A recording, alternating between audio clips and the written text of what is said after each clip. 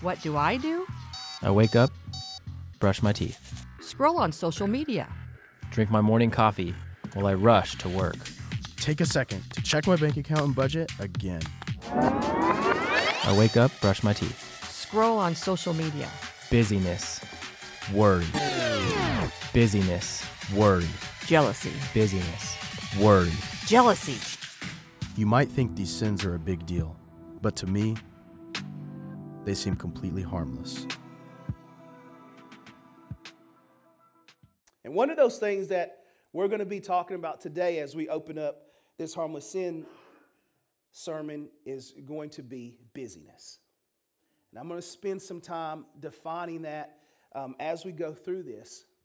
But I need for us to understand, I need us to get that God has called for us to live at a completely different pace.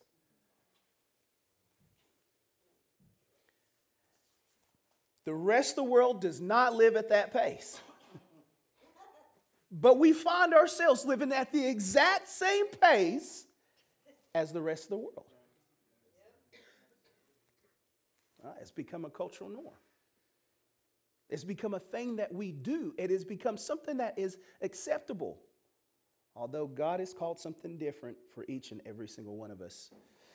So I'm going to be going through some different verses today. Uh, so um, be with me, be hanging in there with me as we go through these different verses. I'm going to open up with Luke chapter 10, verse 38 through 42.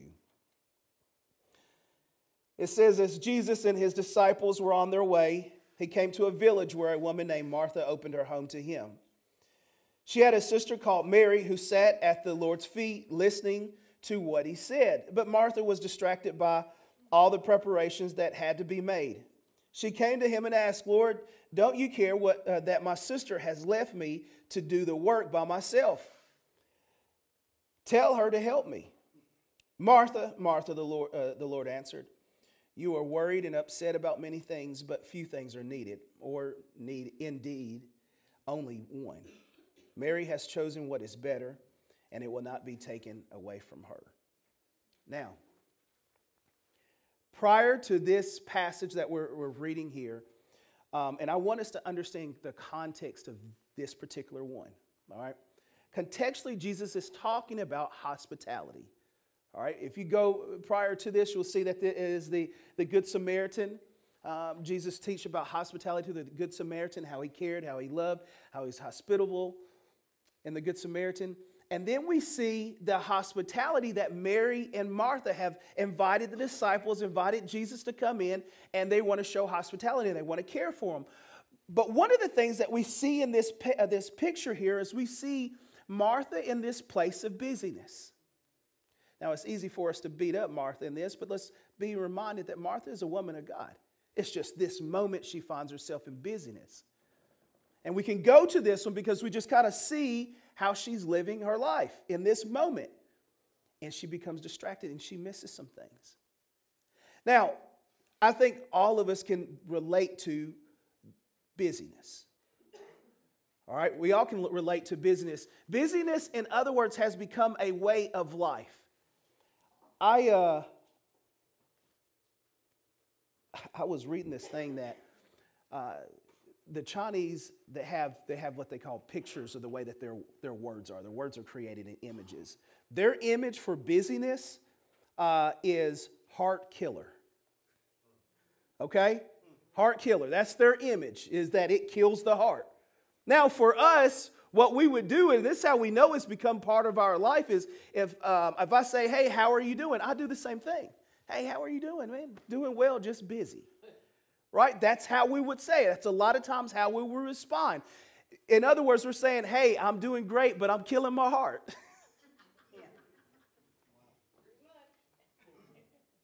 and in a lot of ways, it feels like that's what we should do, right? It just feels like that's the thing to say is like, hey, I'm busy hey, I'm, I'm killing my heart.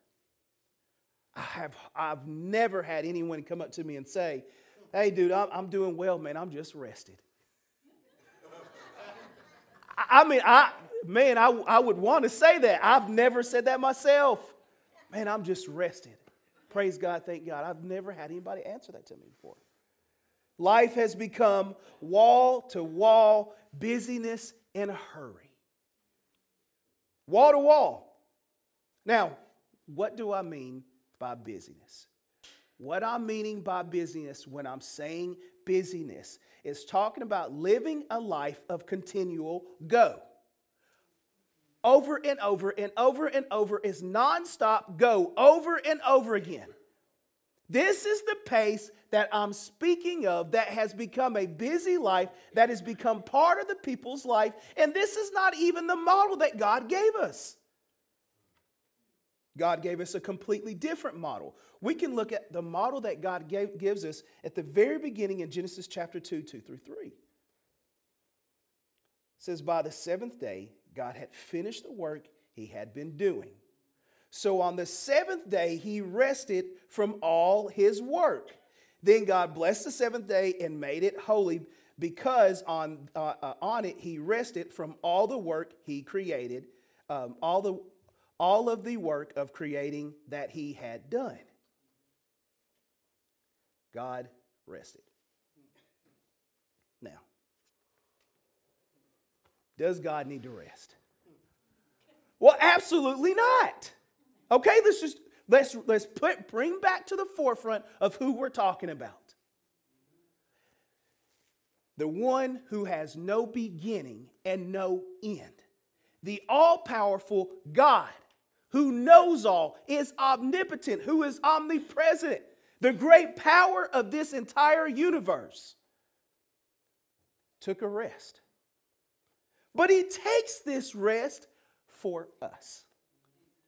He goes, I want you to see a completely different pace of life. In other words, I've created you to live a certain way. When we don't live that way, you will feel it in your body. God modeled a way of life. God modeled a way of work and rest. Work and rest. Um, I had heard somebody say something about I prefer to burn out than rust out. All right, man, I'm, I'm, I prefer, I'm going to go as hard as I can and I'm going to burn myself out before I rust out. But let me understand something. Both of these, neither one of these are any good. right? You burn out, it is no good. You rust out, it is no good. God didn't design us to do nothing but rust out. He didn't design us to do nothing but only rest and do nothing at all. Do you see what I'm saying? Like, he didn't design us to go hard and just all work. He designed us to work and to rest. Now, understand and hear me, hear me on something. Understand it's okay to have a full schedule.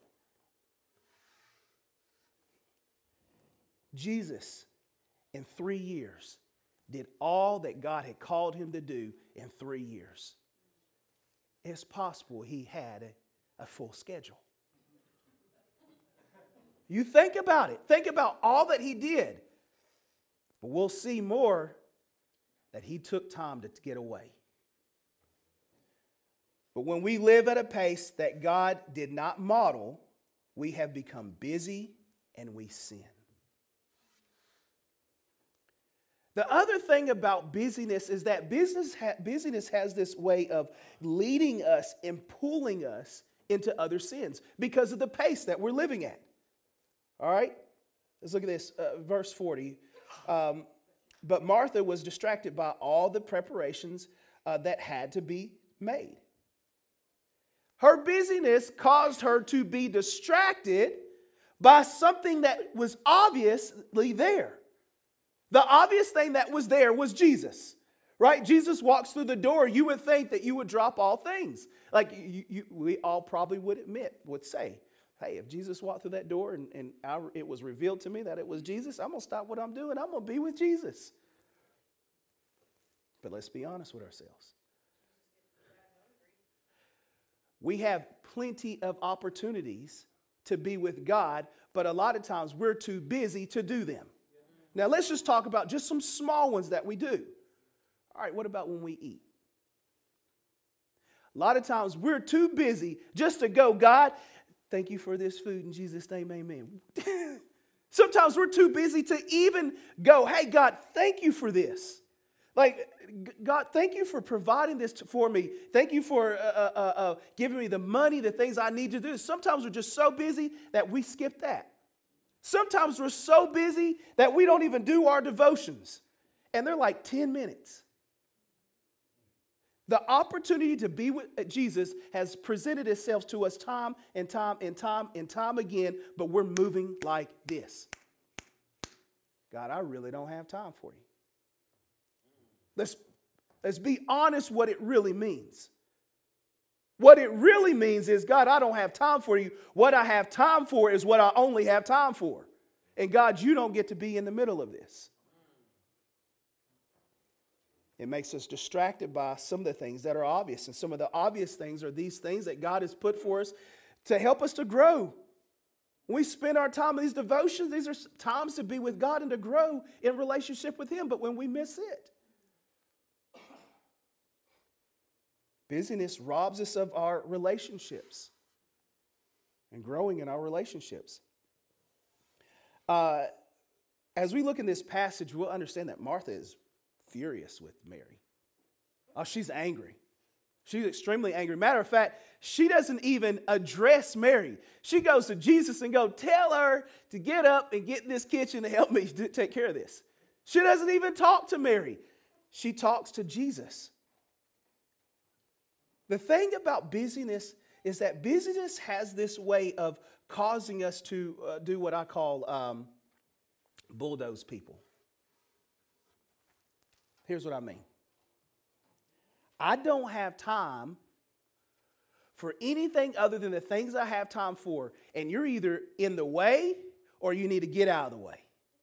So, what a lot of times will happen, we'll run people over. Why? Because I don't have time to do the thing that God has really called for us to do. And it's the opportunity to love on people and to care for them. No, I only have time for the stuff that I have time for. And if you're in the way, you got to get out of the way.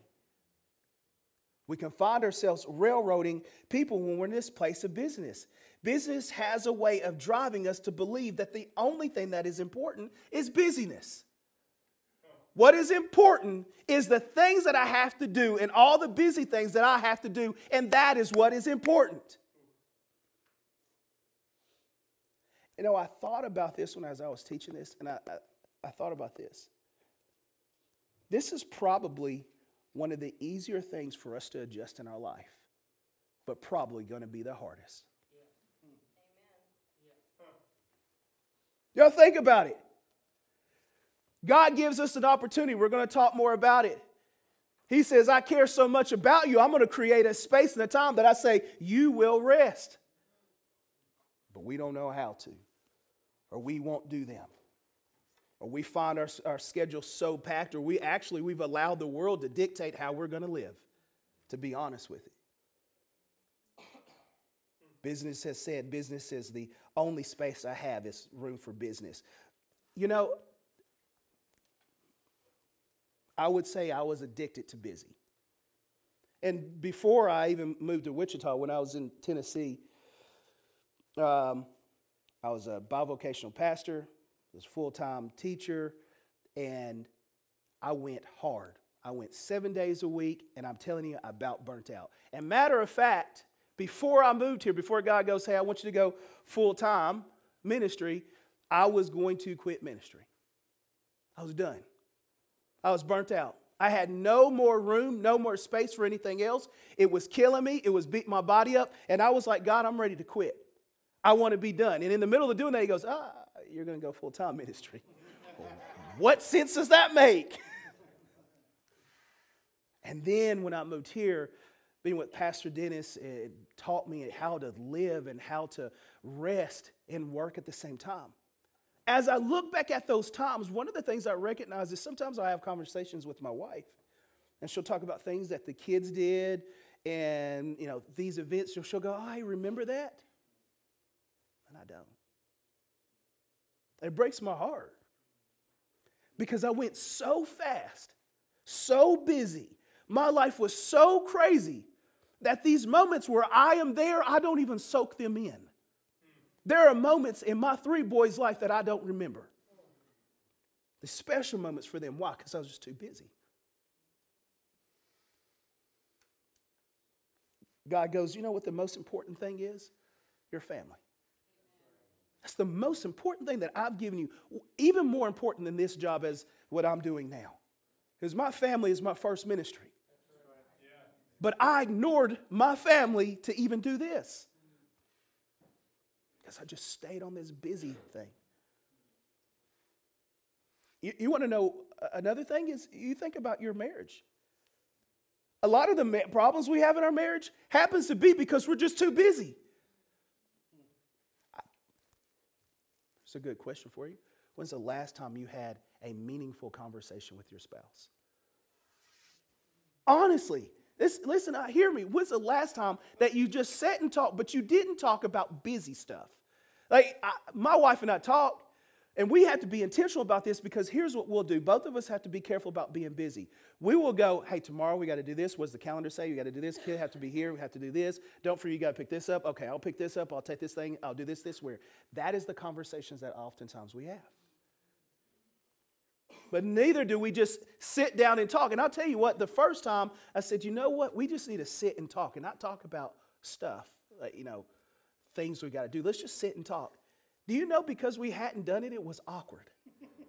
now, my own wife, I couldn't just sit here and go, I don't even know what to talk about. Sorry about that. Why? because we've been caught in a life of busyness. So I'm going to tell you as if you're married in here, let's be intentional about this. Let's not miss these moments with our family because of busyness. Do not let it take over your world. Now, as followers of Jesus, we all would agree that we want better relationship with God.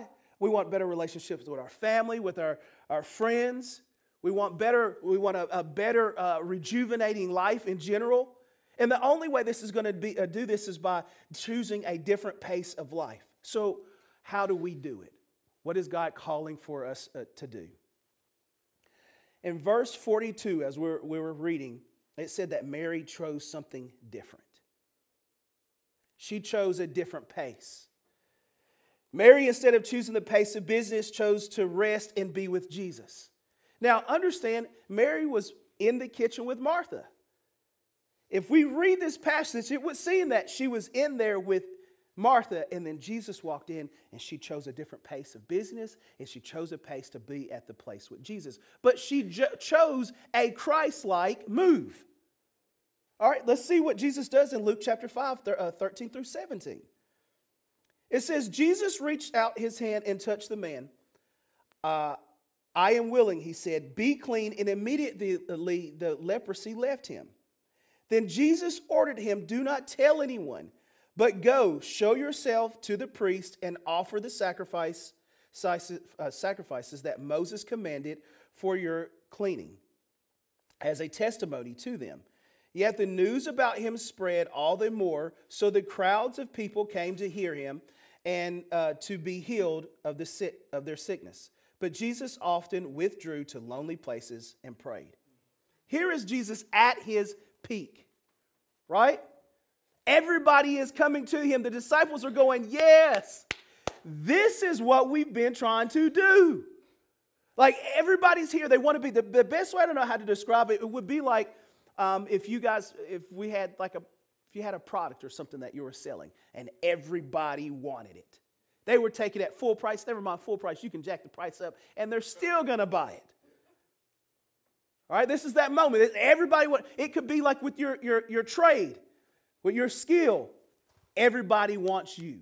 Guess what? You can charge anything you want and you can have as much uh, uh, work as you want. And this is often when what the world would tell us to do is to dig in. Like, pack your schedule.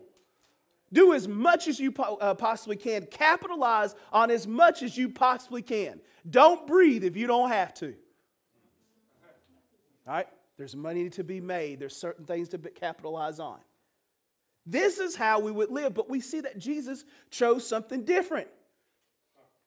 He chose a different pace. He chose a pace to get away and actually be with God. Jesus was known for withdrawing. We don't know how long he withdrew. We don't know if it was a couple of minutes. We don't know if it was a full day. but he made time to slow down. So, what does this look for us? What is God calling for us to do? All right? One of the first things I want us to talk about uh, that God is calling for us to do is to take Sabbath rest. Now, we see that God at creation said, There is a Sabbath rest that I want you to take. I'm going to take it, therefore you should. What in the world makes us think that if God's going to take one, that we don't have to? That absolutely blows my mind. I, I mean, I lived it. So I don't hear me point my finger at you. I understand I lived it. In a lot of ways, I was did a lot more like Martha. Look, I'm doing these things for the Lord. I'm hitting it hard. I'm getting it done. And then I find myself not even keeping the Sabbath. We see that as part of the commandments that we should keep the Sabbath. See, the Hebrew word for uh, Sabbath is Shabbat, and it means to end something. It means the end of something, the end of this work period. It's a close of this period for you to rest. Now, when I'm talking about Sabbath, I'm talking about a day of rest. Taking a day and resting. Now, understand, disciples and the, the, the Pharisees and the Sadducees come up to Jesus. Um, I believe it's in Mark 2. And uh, they come up to Jesus and he says, uh, uh, Jesus and disciples are walking, they're hungry. And they, Uh, and the wheat field, they just grab wheat. So, uh, you, you kids, you've grabbed like, it's just stuff off the end of a, a vine or something. So they just grab this wheat off. And so they rub it together, blow the chaff off, and they would eat the little seeds that were there. So they were hungry. The Pharisees and Sadducees in this little moment goes, ah, ah, ah uh-uh, you've broken the Sabbath. You've been harvesting. And Jesus makes this statement. He goes, Look, the Sabbath was made for man, not man for the Sabbath. In other words, this Sabbath was made for you so you can rest. This is part of the gift that God gives to us as His people. But we find ourselves ignoring it. Now, I, I get it. I understand. Sometimes we don't have a full day to be able to rest. Sometimes we don't, okay?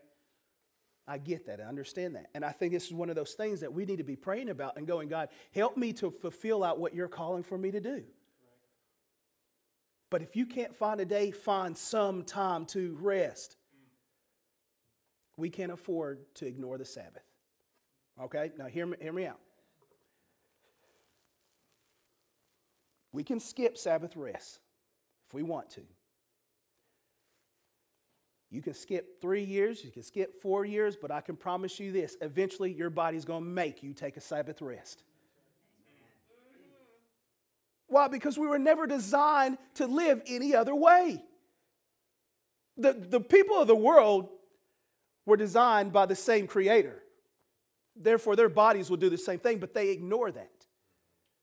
That's why God goes, For you, I want you to live differently. I want you to live at a different pace, a place, a pace of rest and work. Now, for me, just to give you an example of how, how I do it, is for me, Friday is a Sabbath for me. I take time to rest. If, I, I don't sleep in anymore, I'm just too old to be able to do it. It's for whatever reason I wake up. I'll call myself sleeping in, but I sleep in as late as I possibly can. Um, but I give myself time to rejuvenate from all the work that I did throughout the day. And I find some time just to really be alone and hear what God has to say. Sometimes that's fishing. You'll hear me talk about fishing. When it gets a little bit warmer, I'm going to be out fishing. Now, I know when I'm fishing, there's where God is at. He is on the lake, I can tell you, okay? Especially when you catch a big one.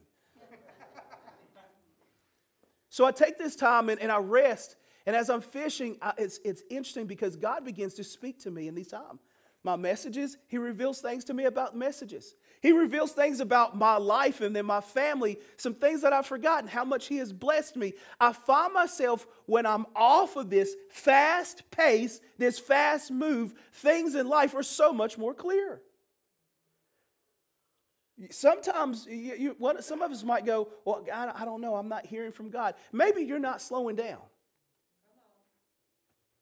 Maybe you're moving at a pace that you can't hear God. Y'all remember your kids in the back of your, your, the parents' car when they're driving and you're on the interstate and you're trying to catch the car, but you can't ever get a clear car?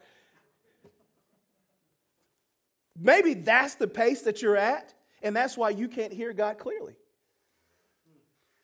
We're finding a different place. Here's, here's the other thing Sabbath is a, a sacrifice. Because guess what? There's always room to make more money.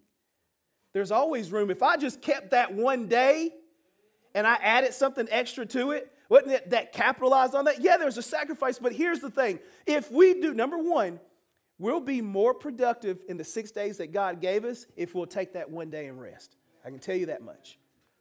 Number two, there's a place of faith of going, God, here's what I'm, here's what I'm going to do.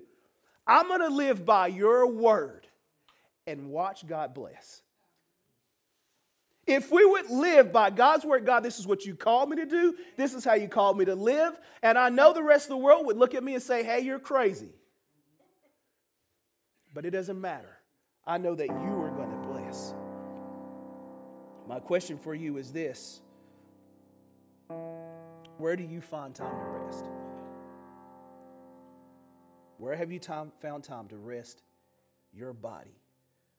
Where have you t- found time to rest your mind, to come down from the high pace that the world wants for us? The next thing is to find a quiet moment to be with God. Now, I don't know where that might be. Just find some place to get away. Mine is early in the morning. Before everybody is up, I just go and spend some time with God. This is just when I find this place, it's not hurry. There's not a lot I have to get done or have to do. Everybody's asleep, the dogs are asleep. And I just go and I get to be alone with God to hear what He has to say. Do we have these moments in our life? To get and, and listen, if we would just if we would do these two things, I'm telling you, would change your life. Maybe it's in the car as you're driving to work. You just calm yourself and go, God, I'm, I'm here. I want to hear from you. I've talked to some mothers and they say it's in the bathroom because nobody bothers them in the bathroom. But it is a place of rest. It's just me and you, God. Do you have a place where you just get away to be with God? Family.